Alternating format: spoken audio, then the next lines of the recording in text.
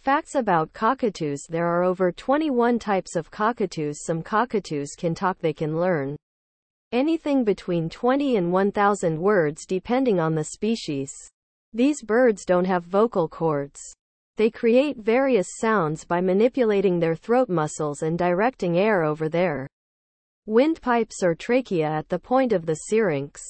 They can live for 70 years.